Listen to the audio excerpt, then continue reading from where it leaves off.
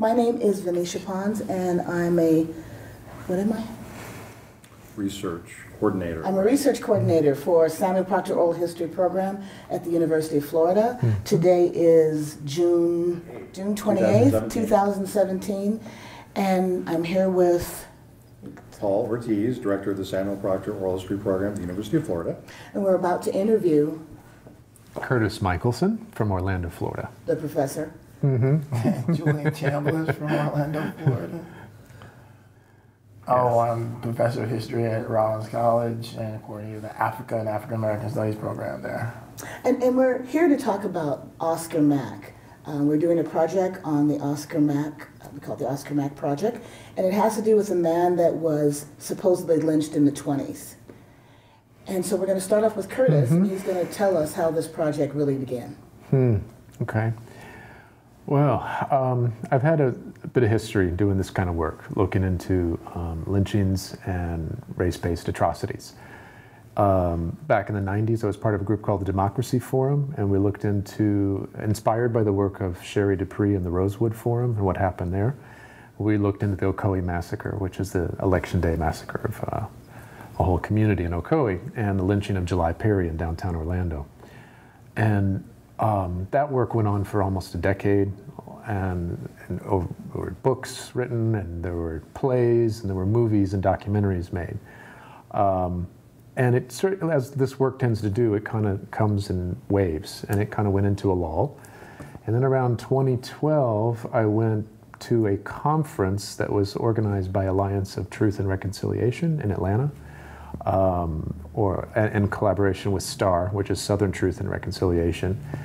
And they were pulling together a lot of different groups from um, around the country to talk about these type of projects. And so that was uh, February 2012, and it it just sort of reawoke in me, realizing that wow, this this work is still going on. There's more groups popping up. We did a memorial service that day. This was just outside, um, I think, Athens, and uh, Sam Hose, who was lynched in 1898. We did a memorial service for him that day. And one of my uh, founders, friends, and, and good friend and founder of the Democracy Forum, Sandy Cawthorn, was with me, and she said, "Wow, we, I haven't looked at this material. We have archives, we have crates, and digital archives, and we were looking through all this material again. And in that process, I came across a clipping that I'd never seen before, and it said, Oscar Mack lynched at Lake Jenny Jewel, downtown Orlando." And and and I looked at Sandy and I said, "Did you ever see that? Like we've been, you know, doing this work for so long, and, and it just was kind of a shock." And I said, "Sandy, that's around. That's like just a mile from my house where I, I was living in South Orlando." And so it just sort of, whoa, it kind of reawoke me. I said, "You know, here we go again. Here comes the next wave." And um, that's really where it, began. Just looking at what was already sitting in our crates and in our you know closet where we were keeping these materials. And I said, well, let's let's look into it. And so the time I think I ran into this gentleman here. Um, we were part of the Urban Think, Rethink. Urban Rethink, part of the Urban Think Foundation. It was a community hangout space in Orlando. And I saw this guy and I said, uh, I, knew, I knew about this radical historian at, at Rollins College, heard a few things about him. And I, I approached him. I said, Do you want to do a, a project? And I told him about what we'd done with uh, Ocoee. I said, I want to do this again. This time I want to do it differently and better. Uh, and by that, I said, I want to involve students right off the bat because in the Ocoee project, we'd had some fits and starts working with academics. We'd had some challenges, and I didn't want to go through those again. And I wanted to have students involved from the very beginning, and I, we talked about that. And he said, Well, you know what? I got a uh, theme for the next semester, and it just timing was right. And so I said, Well, Julian, let's do this. And he had agreed to, I think it was your winter? Was it the winter or spring? Uh, spring. Spring yeah, 2013 semester, he was willing to allocate the class and bring the students along. And at that moment, there was the Pechakucha movement was getting going in Orlando. Our friend Eddie Sellover was starting, if you know pechakucha.org, it's a it's like a community talk series, community dialogues, and like TED Talks, but different format. And so I, I, I just approached Eddie and I said, Eddie, you know, I, I just feel like this is a topic. And I pitched it and I said, I think I'm going to call it From Lynch to Love. He said, You're in. He had one slot left. And so it was February, you know, all this was happening right at that moment. And I got up on that stage and I just shared the story. You were in the front row, and I and I and at the end, one of the last slides, kind of PechaKucha is 20 slides. Each slide runs for 20 seconds. So the last slide, and I think the, the 19th slide, there was just black, and I said, Central Florida, are you ready for the next project? And the room erupted because I just told Ocoee and, and all these other stories from around the country because I've been networked with these groups for so many years. And I even brought in stories from um, Germany and so forth. And the crowd said, Yes, we're ready. So I said, Well, Julian Chambliss here and I would like to introduce you to, and they're www.oscarmacproject.com. I bought the domain the night before. It, we launched. We launched at PechaKucha in February 2013, and then he put his students on the project right away. And that's how we got rolling. Okay, so you run into him. Right. He's got this great idea. Mm-hmm. So, what were you thinking there? Um, yeah, we we were working at Urban Rethink, um, and we had a discussion. And at the time, I was thinking about what I was going to do for the next semester. And in particular, I was going to teach African American history class, which I knew. It was going to be a community engagement class, which I also knew, which meant that I could create some projects that would require the students to spend extra time. Actually, you have to get a designation for community engagement, and, it basically translates into you're going to spend 10 to 12 more hours than a normal class because you have to do this community-based work. And so I was looking for the opportunity to do that kind of work, and I actually wanted to look at different questions about uh, race and space because actually this this this class actually dealt with two different things. Like there was a group that dealt with the Ocoee project with, with Oscar Mack, and then there was another group that dealt, dealt with a community called Gotha. Um, and the goal, it was a it's intro level class, right? So this was one of the things that made it both uh, a challenge and a reward, right? Because um, thinking about the intro level classes for me, and I use this sort of like approach of like a kind of digital humanities approach. So there was certain sort of primary source driven research that we needed to do. Curtis showed me the book that he had found, the one book that he had found by Christopher Waldrep that really dealt with like um, anti-black violence in the 20th century, and he had like two pages about. on, on and where he mentioned this story, and that was it. and and and it really wasn't enough. Like it was, we had a newspaper clipping, and then I did a, a few other searches and found additional stories. The one that I always found, man believed to be Oscar Mack. That was the phraseology of. Man believed to be Oscar Looking Mack. back now, that was quite a turn of phrase. Yeah. Um, I'm like, well, okay. You're right. Um, That's what and the that, clipping And that was actually something that we found in the newspaper, like it was out of Pittsburgh or something like that. Mm-hmm. Um, and that was it, right? So the the project became like a research project that lasted the entire semester for the, that work group, and their goal was to really sort of look at the, the lynching and try to build off what was the established work. We had to work in terms of like contextualizing um, anti-racist violence in Central Florida. So we read uh, civil rights movement, we read about Florida race history, uh, trying to contextualize this story. And this is a, a class where it's you know basically African American history survey. So they're kind of building the capacity to understand the thing that they're doing, but at the same time they also have to deal with the work of looking for this very particular set of information.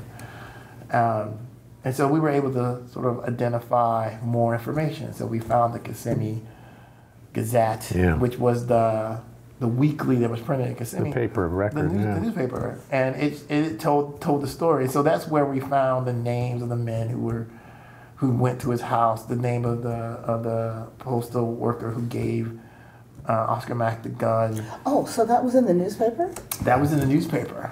Oh, yeah, he probably had to leave. yeah. that was in the newspaper. Yeah, so when, and of course it, it, it's great for the students because you know how how we're going to find a newspaper. Like, well, we're going to have to go to the University of Record and see if mm-hmm. there's a chance we can find a newspaper from the town. And mm-hmm. it happened so just so happened the University of Florida had a digital newspaper project, and they had digitized the Kissimmee mm-hmm. Gazette, and that's where we found it. Um, and then we were able to sort of like from that sort of identify those names. Like, well, see what we can find out about these names. And let's see if we can find a death certificate, right? Because every version of the work that that and research that we did showed that he he was listed as lynched, mm-hmm. right? The NAACP's report of lynchings, which they put out every year, you can download the copy that covers 1922. You go to Florida, mm-hmm. it's listed there in July. Oscar Mack lynched. It's there was never a hint in the published accounts that he got away, no matter what accounts we looked at. But we could never find the death certificate. And in fact, the students actually contacted the the state looking for a death certificate. Uh, they did a I think I did, didn't I? do- I did the actual request. Yeah, you did And I got the letter, the official letter back saying, no, no name match. yeah. Right. Um, and did you help them because they also did a federal records request? Did you help? I called the FBI. Yeah. And this, this, let me add this little piece. This is about Waldrep because it's kind of interesting. Um, Waldrep, who wrote the book, and I don't remember the title of the book, but you're right. It was that period of uh, It was Jim Crow. It was kind of like any black violence in the 20th century. It was And it was this- The it was white this- book is really like. and the struggle to get anti-lynching legislation passed. yeah. And we tried to reach Waldrep because we figured Christopher Waldrep, who was the one that had found something in the FBI files, and when we couldn't get it from the FBI, we tried to go to Waldrep himself. Problem was, he just suffered a massive stroke the month before we started the project. He couldn't speak, he was incapacitated. I got his wife on the phone, and she was heartbroken. She said he would have so loved that you had taken this up and that you had now Right. embarked on this. So she said, Look, I'll, I'll do my best. I know where his notes are. She went through all of his papers and she found his handwritten notes from the time he got to the FBI, the notes he took on Howe, and she sent those to us. And that's as close as we could get to Waldrep. But I, I'm- mean, I'm, you know, it was just interesting right at that moment. Um, so, yeah. And so could you uh, spend a moment and talk about Howe? Yeah, Leon Howe. So he's, well, he's the FBI agent, I guess, on the ground at the time in Central Florida. Not technically FBI, like he's the Justice Department. Okay, Justice Department. You probably know more about Howe. Go ahead. Well, I know exactly the same thing, you know, because we read the same paper. Yeah. So Leon Howe is uh, agent. He's assigned to Florida. And when we first found his name, I remember I thought to myself, why does that name sound familiar? why is this name sound? And I remember I'd seen it someplace else. He was also investigating Marcus Garvey. Like he was the person apparently that investigated everything that the Justice Department needed to investigate in Florida. Um, but he had caught wind of the intention of these people to to lynch, to attack uh, Oscar Mack, and he basically uh, sends a letter to his superiors saying that the same group and, and the phrase that I think we all sort of like perked up on was the same group that did the thing in Ocoee are at it again. They're going to Yeah. attack this employee, and he's a federal employee because Oscar Mack had gotten the reason people were out for him was because Oscar Mack, of course, had applied for and, and won a con- federal contract to take mail from the post to, from the rail station in Kissimmee to the post office. So technically, he was a federal employee, and and Leon Howe basically makes this argument that they're they're going to we have to do something because this is a federal employee. Crickets, nothing happens, right? But but his estimation, his analysis is in the record, and that's what uh, allowed Christopher Waldrep to like, like know these details of the story. And then when we read the Kissimmee Gazette, that's when we started like getting the names of the people, right? Um, and and we're able to put together like, oh, there's a sequence of events here because the Kissimmee Gazette is a weekly, so you leave one issue and you leave another issue, like the story sort of changes uh, over that that sort of like two week span. Um, but yeah, that's We how. should, we should, you know, you and I went to the physical location. We- yeah, we did. We scouted around Lake Jenny Jewel. We should share a little of that story too, because uh, again, I living close to the to the area, I kind of bike past it a lot and bike ride, and I know the lake, and it's fairly. I mean, it's not a huge lake, but it's one of the mid-sized lakes in Central Florida. And um, I, I said, let's just Go down. look and see the site. And we went around and we found only one part of the lake, the southern side of the lake, that looked like there was a home that was probably there in Yeah. early 1900s. It's a beautiful old southern mansion style home Right. on the south side of the lake. And we just both kind of got chills. And there was even like a little driveway that said, keep, Keep out. out, yeah. Well, we went in. and I had to We literally back my car out. We just went up as close as possible. It's somebody's home. We don't know who's living there. Yeah, yeah, yeah. We went there and we are like, this looks about the right age. This could have happened here. Something, you know. Uh, and it's odd because the actual location is not far from a, a federal facility, right? Like it's it's it's. It's so- also along the railroad track, Track, which yeah. connects to Kissimmee. So you kind of almost in your mind, you picture them bringing him up that line. Mm-hmm. And there was a stop there at Lake Jenny Jewel. This was, and we should mention too, this is the oldest part of Orlando, Right. right? When Orlando, before Orlando was Orlando, it was Jernigan. Right. The very first post office in Central Florida is very near this lake. Right. Right on Lake Holden, which is the It's lake. Jernigan's. What was it? Jernigan's. Um, uh, he got like a uh, a land, big land grant, right? a big land grant for killing Indians, basically. Basically, yeah, Seminole Wars, right? Yeah. So, congratulations. You- you- 400 acres and 400 mules and mm-hmm. And there's a there's a small municipality, Edgewood. yes, that's Edgewood. That's just right Yeah. adjacent to that. So all this felt physically right, like this, yeah, and it was sort of on that road into downtown Orlando. If you go one mile more, further north, you're into downtown Orlando. Right. Um, so getting very close to where July Perry was lynched. So we, we looked at the physical space too a little bit. Yeah. And Felt spooky. you know, you get a feeling about these sites. Yeah. so we we our project and and, it's worth noting our project was a project for students. Um, their life lives and dies with the semester. They care as long as the semester goes on. They had to deliver a finished product, and at the time, um, my goal was to create a wiki because I was like, well, we can make this ongoing project if that's sustainable. Um, and so a lot of the information that was in the in the research went into like a kind of wiki space that we were using. And so that was sort of up. And Oscar Mack was there. All the projects from the class were there in this sort of like wiki space. And so it was up, and, and Curtis had his information up. And I think you, you linked to some of it. or- I just took what your students did and I copied it right Oh, over okay. just to, because, and I think I asked your permission. Right, yeah, permission. no, no, no. I, I, Because I, know- remember one student in particular, Maria Gutierrez. Right, She yeah. kicked ass. She did Right, great. yeah, She, you could tell she was into it. Did she have something on her own? Because it seems like I ran across her name on a, ah. something all by herself, like on a web page or something, Well, Yeah, where so, she's written about it. we hung off, we hung it off our site Right. Okay. because it came out of his project with the students, and her work was good. She put put a lot into it. Right. Yeah, Yeah. She put a lot of work into it, and each each student was kind of responsible for different chunks, but she really sort of like commanded. I could tell she took the Right, lead on it. Yeah. Well, you know, she was the student in a group project that had no faith in other people in the group. Right? Like, you know that kind of thing. Like, okay. And and that was great, but it also created all kind of stress Oh. for her because we had these discussions which you never heard. Uh-huh. Oh, were about, interesting. like this, these people being you Oh. and, and what you wanted. I'm Like, look, you know, when you work with community and community groups and they have a lot of experience with this, and so some of the things they're asking you are born out of their experience working with like and trying to document a community-based thing, and so you have to measure what they're saying against what you could do, mm-hmm. right? you had me come into the class one time. Right. That was great. Yeah, no.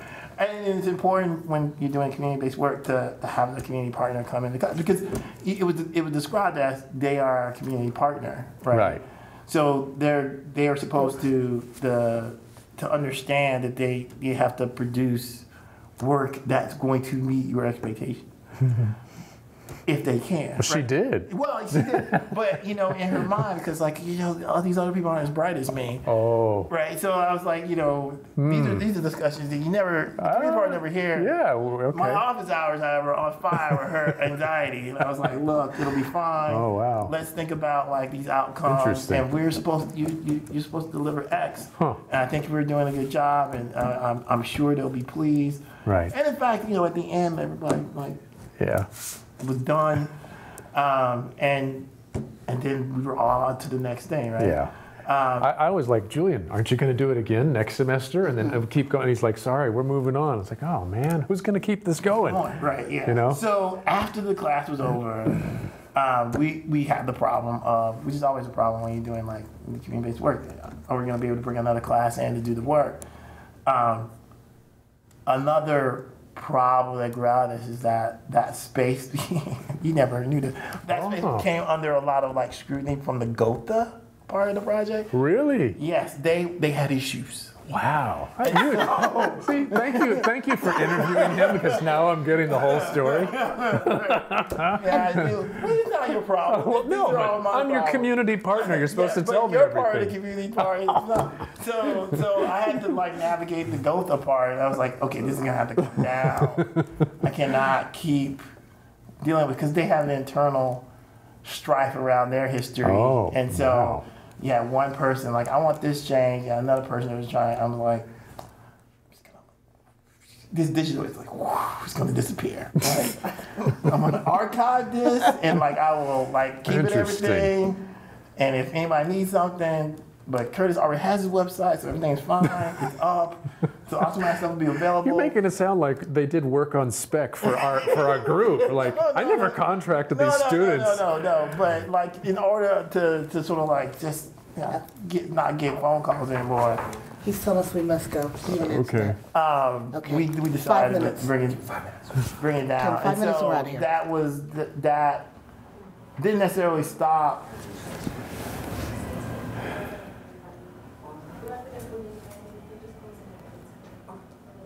So let's fast forward it. All right. So Yeah. at the end of it, right. what do you know about Oscar Mack? At the end, what we knew about Oscar Mack is that we were able to find his uh, records as a veteran. We knew about uh, his experience. We sort of knew sort of like the ancestral sort of census tract data. We knew that he had had this sort of like conflict growing out of the fact that he got this federal grant. And we thought we understood the story that he had been confronted, that he had shot and killed his attackers, that he attempted to escape. In fact, like the, the, the news reports that he had escaped. But then the next news report is that he had been lynched. So the huge gap in my mind was where did they catch him? And why did they take him to Orlando Right. to lynch him? And why can't I find a death certificate? Mm-hmm. And so when the project was over, the, the sort of like goal of the project for the students was like, look, I need you to flesh out, we're trying to flesh out this story that exists on like one page, a page and a half of this book. And there seems to be no documentation of. They did that. Um, and there was a hope that having the story up would generate more, more information. Which is indeed what happened because it kind of lays fallow for about a year, and I just keep the website up. I'm just paying the monthly fee to the web host, and OscarMacProject.com is there. Maria Gutierrez's piece is linked to it, and then just out of the blue, I was literally about to take the site down, thinking, "What are we doing? You know, this isn't doing anything." And we get this call. Uh, if it came through as an email, because there's a contact us on on the website, and James Brown says, "We have more information. We've been looking into this. I think we should talk." I don't know who James Brown is, but I immediately left, gave me his number. I called him uh, that day. As I shared earlier today, it was not a great week. I'd just been fired from a job. I was, uh, you know, just having a bad week. And, and I got on the phone. This man with a very deep voice says, we, my family has a story you need to know. And he starts to unravel it. And he says, we're very sure Oscar Mack is, he's my great uncle and he survived. And I just about dropped the phone. And I just was, remember just kind of tearing up because I just, I, I was first of all happy he survived. Like, yes, finally I'm involved in a lynch story where the guy didn't get lynched. This is hallelujah, right? How often does that happen? Never. yeah. So that was amazing. So I called Julian immediately. Julian, you won't believe this. And that's how we got to know James Brown, and Right. that got this conversation going where we are How did today. you respond, Julian, when you heard? Ironically, I had been trying to do a little bit extra work and I had come across a weird newspaper account of Oscar Mack getting away. And I, I think I told you this. I don't remember that, but you're probably right. Yeah. And I was like, so when he called me, I was like, ah, This could be true. Totally, uh, that's this might be true. this might be very true. Um, And then I was like, James Brown, really? Okay, so we'll stop on that. We'll stop on that. That's We know where you guys live. Yeah. Okay, this was excellent. All right, thank you.